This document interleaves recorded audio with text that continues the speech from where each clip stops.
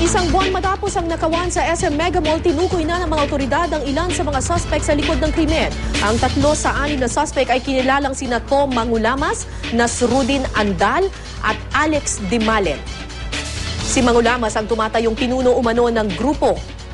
Samantalang si Andal naman daw ang nagpaputok ng baril at si Dimalen ang nakunang bumili ng pipe wrench sa isang hardware store sa loob ng mall. Patuloy na pinaghahanap pa rin ang tatlo pa nilang kasabwat. Para mapabilis ang pagdakip sa mga salarin, itinaas na sa 300,000 piso ang pabuya sa sino mang makapagtuturo sa kinaroroonan ng bawat suspect.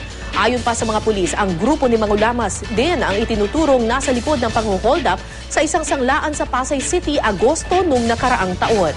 Nagmatch daw kasi ang mga slug ng baril na natagpuan noon sa loob ng SM Mega Mall at sa sanglaan.